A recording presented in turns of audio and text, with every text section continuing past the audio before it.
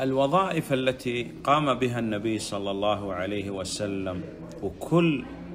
وظيفة من هذه الوظائف قام بها النبي صلى الله عليه وسلم على أكمل وجه ولا يستطيع أي واحد يصنع كما صنع النبي صلى الله عليه وسلم пайғамбарымыз саллаллаху алейхи уассалам өзіне жүктелген әрбір міндетті және олардың барлығын ең кәміл үлгіде орындады және ешкім ол міндеттемелерді ол орындағандай қылып ешқашан орындаған емес және орындай да алмайды هو رسول الله ол аллахтың елшісі يتلقى الوحي من جبريل عليه السلام ол жибрил алейхисаламнан уахиді қабылдады يحفظ القرآن ол құранды жаттап алды يعلم الناس ол адамдарға соны үйретті білімді үйретті هو المفتي ол муфти болды Имам яғни әл- имам- адамдарға пәтуа берді إمام المسجد ол имамның ол мәшіт мечеттің имамы болды هو هو رئيس الدولة ол мемлекеттің басшысы болды هو القاضي